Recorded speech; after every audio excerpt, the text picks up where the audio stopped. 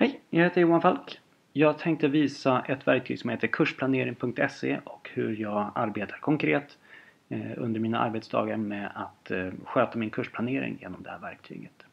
Kursplanering.se är inte bara bra för att kunna sköta kursplaneringar utan ännu bättre för att kunna dela resurser med andra lärare. När man lägger upp övningsprov och videor och grejer så, där, så delar man det med andra och det blir kategoriserat och sökbart på ett sätt som jag tycker är jättefiffigt. Eh, jag återkommer till det för nu tänkte jag visa, eller nu tänkte jag förbereda en lektion nästa vecka eh, som handlar om satser och bevis. Jag har två klasser som läser nästan samma sak. En läser matte 2B, en läser matte 2C. Och de kommer båda jobba med satser och bevis nu framöver.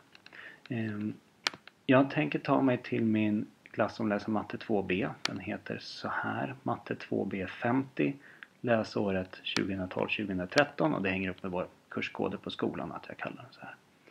Eh, här är kurssidan eller kalendersidan för den här kursen. Här finns alla lektioner med som vi har och de är kopplade då till olika avsnitt som vi har i kursen. Om vi, jag klickar på den här lektionen som är den jag vill förbereda, geometri, använda satser och bevis, så hamnar jag på, på den här lektionen och den är i princip helt tom. Och det tänker jag ändra på men jag tänker vara lite fiffig. Det här ser lite konstigt ut. Men här, här är lektionsnamnet och här är avsnittsnamnet. Den här lektionen pekar till ett kursavsnitt. Och det är det här avsnittet jag vill ändra i faktiskt. För då kommer jag kunna använda det eh, i min matte 2C-grupp också. Så jag tar och klickar på den här. Avsnittet är också tomt. Annars hade vi sett någonting här innan. Här tänker jag lägga in en beskrivning så att eleverna vet eh, vad eh, eh, vad det här avsnittet handlar om. Så jag går in och redigerar den här. Och sen så tar jag och kopierar en text som jag redan har förberett. Här. Där jag säger till eleverna att efter det här momentet så ska du kunna ta till dig nya satser eller färdiga bevis. Liksom kunna använda dem. Om du läser 2C vet jag, jag tar och, ja, om du läser 2C så ska du kunna följa och viss mån återupprepa bevis för det ingår i den kursen men inte matte 2B. Man ska kunna använda färdiga satser och bevis för att lösa problem. Och man ska kunna motivera problemlösningar utifrån satser och bevis. Det är det som det här momentet går ut på. Ja. Eh, innan jag sparar här så tänker jag förse det här avsnittet med några nyckelord. Och här har vi till exempel geometri med som ett nyckelord. Vi har satser med som ett nyckelord. Det fanns med innan så det kan jag välja här. Bevis finns nog med också. Här, bevis.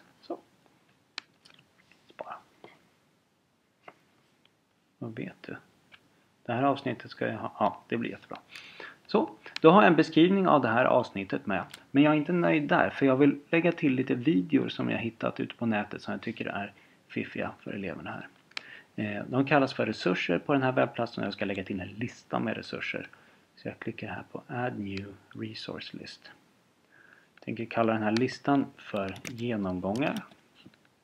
Jag kan säga att jag använt innan som namn. Jag vill ha med den här i sammanfattningen. Vi ser att det är blandat engelska och svenska på den här webbplatsen. Det är för att den är under uppbyggnad fortfarande. Eh, här, bland resurser, kan jag antingen söka bland massa resurser som redan finns på webbplatsen.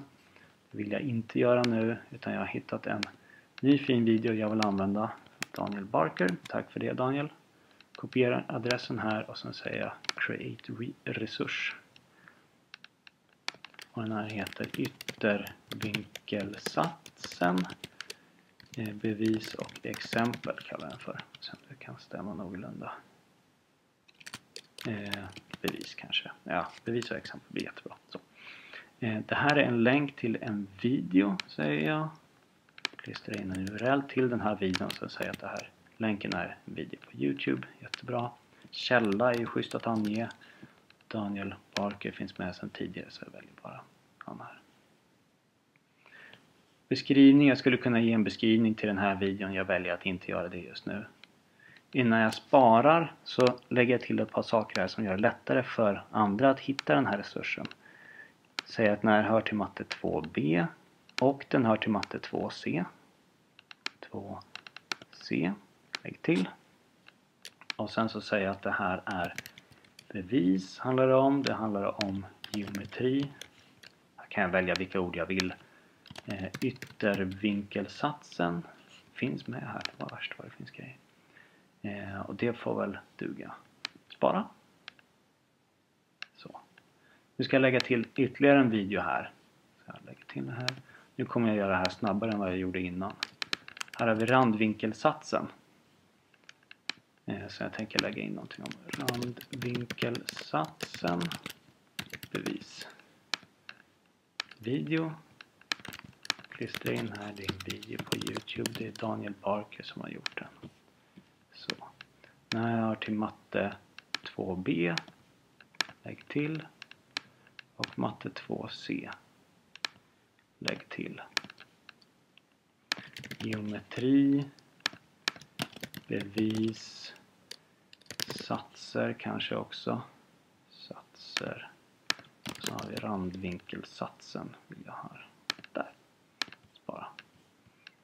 Och sen tar vi en video till som jag spelade in vid något lustigt tillfälle. Eh, live i klassrummet. Create resurs.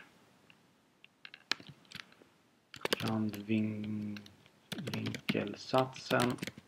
Exempel live. Video. Klistra in. Video på Youtube. Det här är Johan Falk som har gjort så vi väljer honom som källa. Matematik 2B och matematik 2C. 2C kan man göra. Det är geometri det här handlar om. Det är satser. Det är inte bevis här skulle jag säga för det genomförs inget bevis. Däremot randvinkelsatsen är vettigt att ha. här. Så. Nu har jag lagt till, till tre stycken genomgångar här. Och spara. Då är jag tillbaka på mitt avsnitt här där det står det här är vad avsnittet handlar om och här är tre stycken fina resurser som vi kan använda med genomgångar. Jag är inte riktigt nöjd här utan jag vill ha ett par Eh, en lista med uppgifter man kan jobba med i boken som vi har. Så jag lägger till en resurslista till. Den kallar jag för övningsuppgifter. Den vill jag också ha med i sammanfattningen här. Skapa en ny resurs. Då ska vi se. Jag gör bara ett exempel här så kan jag visa andra saker sen hur det här blir i slutändan. Då får jag avsluta min planering efter att vi. Använda yttervinkelsatsen enklare uppgifter. Får den här resursen heta. Det är en bokreferens. Och det är ett antal utvalda uppgifter här jag har. Och det här kommer från matematik 5000 för 2B så jag lägger in det som källa. Det här hör till matematik 2B som nationell kurs. Lägg till.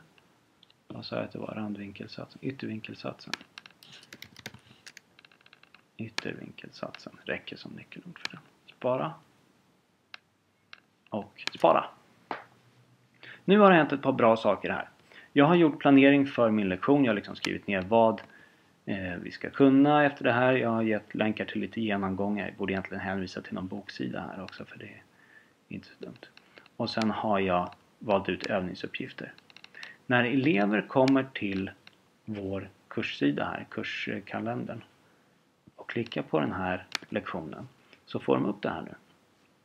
De kan se det här är det vi ska jobba med. Eh, det här är det jag förväntas kunna. Och så. Det är ganska fiffigt. Jag kan dessutom som lärare, och det kan eleverna också för den delen, gå till en veckolista här för den här kursen. Och skriva ut allting för sig kommande vecka eller tre veckor framöver eller vad vi känner för. Och då finns det här med, det här avsnittet. Torsdag nästa vecka, vecka 13 då. Jo. Eh, så jobbar vi med geometri, använda satser, bevis. Det här är det som ingår, här är lite utvalda resurser. Dessutom, och det här är det fina i kråksången. Liksom. Om jag går till startsidan här eller använder sökrutan som du kanske hann se innan den försvann. Så kan jag söka här bland saker som folk har lagt upp. Om jag skulle vilja ha logaritmer till exempel. Jobbar med det. Sök. Så får jag upp ett antal träffar som är med här. Video, video, filer som har laddats upp. Eh, och sånt där. Khan Academy-uppgifter och grejer. Eh, som folk har använt i sina planeringar tidigare. Eh, och när man då har lagt upp till exempel länkar till video på Youtube så blir det lättare för andra att hitta det och återanvända. Och jag kan söka på vad för eller kolla vad jag har, vill ha för typ av resurser, olika nyckelord och grejer. Sådär. Eh, så. Och det tycker jag, eller det, sånt gör mig lite glad när man kan hjälpa andra att inte behöva göra samma jobb som jag nyss gjorde. Utan återanvända det istället. Så! Det var det. Det blev en ganska lång video det här. Hoppas att eh, du tyckte att det var någorlunda givande. Jag hoppas att jag kan göra fler videor strax eh, där jag berättar hur jag jobbar och lägga upp kursplaneringar och sånt där. Men det här får duga tills vidare. Ha det så bra. Hejdå!